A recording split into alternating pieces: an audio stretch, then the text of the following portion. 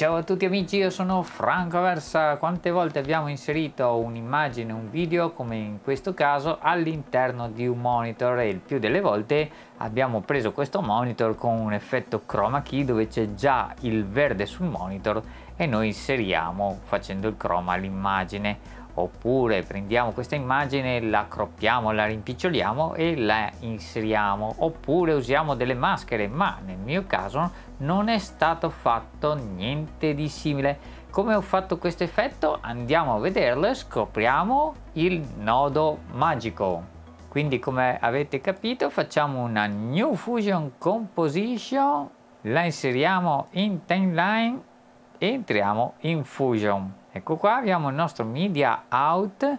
Prendiamo quello che è una foto del nostro monitor visualizziamola sul viewer 1 eccolo qua è una bella pubblicità alla Samsung. E andiamo a collegare questo all'uscita. Bene ora prendiamo il nostro bel video visualizziamolo e lo inseriamo così. E adesso cosa facciamo? Proviamo a mettere un transformer e rimpicciolirlo ma su un monitor del genere sarà veramente impossibile. Come facciamo a adattarlo? Forse usando un nodo DVE andiamo sempre a rimpicciolire e cerchiamo di ruotare in qualche maniera? Mm, no, no, proprio no. Ah, ho capito, stiamo lì come matti a creare una maschera così sul monitor, dobbiamo farla molto bene e dopo con questa maschera taglieremo questa immagine? No, nemmeno questo. La cosa è molto più simpatica e ci viene in aiuto il nodo, premiamo Shift barra spaziatrice e cercate Grid Warp. Guardate cosa possiamo fare con questa griglia. Prendo questa immagine del robot, vado a inserire questo Grid Warp, lo vado a inserire e ora su Destination posso deformare i punti di questa griglia. Vedete cosa sto facendo alla testa del robot. Se i punti sono pochi, su x posso aumentare il numero di punti in x e in y ovviamente i punti in y, in maniera da poter deformare meglio la parte che desidero. Il risultato è come vedete è del tutto naturale, il nostro robot cammina con la testa deformata possiamo fare un'altra cosa. Andiamo a spostare il nostro media con l'aiuto di un transform e per dare più forza a questa immagine io voglio sfruttare la regola dei terzi e quindi sposto l'immagine di qua. Ma questa mia immagine finisce qui e io non la voglio così voglio che riempia lo schermo. Quindi vado sul grid warp posso diminuire anche la griglia in orizzontale vado a selezionare ad esempio questa parte qui quindi con CTRL seleziono questi punti qui e per non spostare manualmente col mouse che rischia di far pasticci premo Alt Shift e uso le frecce da tastiera per allungare questi pixel Ovviamente sono facilitato dall'immagine bianca, ma guardate non si vede assolutamente niente, anche l'ombra è stata stirata.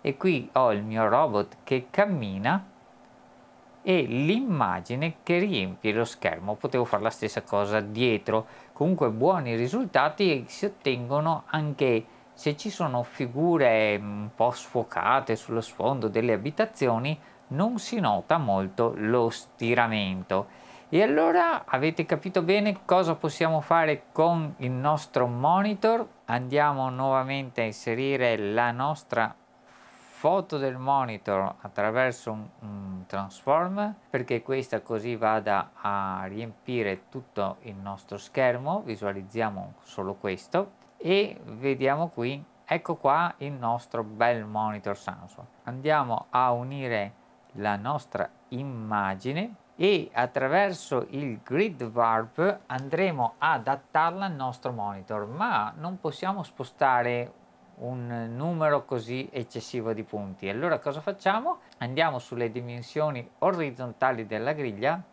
e impostiamo a 1 stessa cosa facciamo per la, il verticale e lo impostiamo 1 e come vedete ora abbiamo quattro angoli che possiamo posizionare tranquillamente sugli angoli del nostro monitor. Per vedere bene questa cosa si può fare così. Prendiamo un nodo prima, lo visualizziamo, premo 2 e come vedete essendo con ancora i controlli sulla griglia, cliccando sulla griglia vedo sui bordi senza vedere l'immagine. Questo mi aiuta a posizionare bene sulla cornice del monitor. Eccolo qua ma ora direte ok però è dritto. Allora facciamo così clicchiamo su select selezioniamo un punto e con le maniglie possiamo distorcerlo. Se vediamo che la nostra linea è troppo segmentata possiamo aumentare la suddivisione la suddivisione può essere aumentata anche forzandola ad esempio a 20 e guardate che bella curva. Stessa cosa faremo anche dall'altra parte. E in un attimo riusciremo a adattare questi punti alla curva del nostro schermo. Ecco qua. Se avete bisogno di ulteriori altri punti potremmo dividere ad esempio l'orizzontale in, non in un punto ma in più punti intermedi. Vedete si sono formati altri due punti e con questi possiamo riposizionarli in una punta intermedia. Ma già così avevamo un buon risultato. Andiamo a vedere il passaggio come l'immagine eh, vera e propria. Premiamo sul tasto merge visualizziamo. Questo non serve e voilà il nostro monitor. Se torniamo con Shift 4 alla Edit Page, ecco il risultato. Se abbiamo bisogno di sfumare i bordi, potremo passare ad esempio a un nodo Road Delete, il grid, andiamo a vedere, abbiamo questo, passiamolo a un nodo bitmap che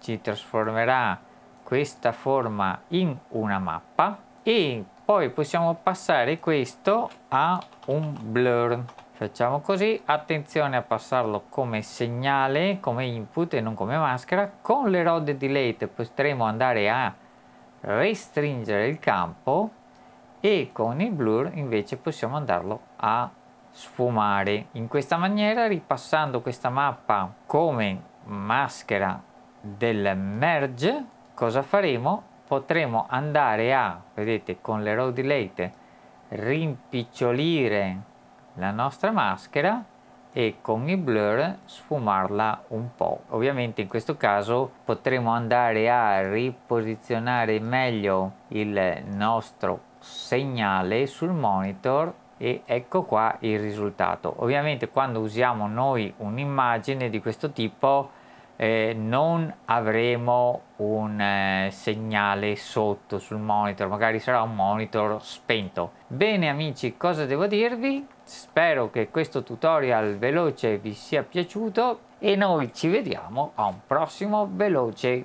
tutorial. Ciao, alla prossima! Iscriviti al canale YouTube di Franco Aversa e clicca sulla campanella per essere avvisato quando ci sono nuovi video.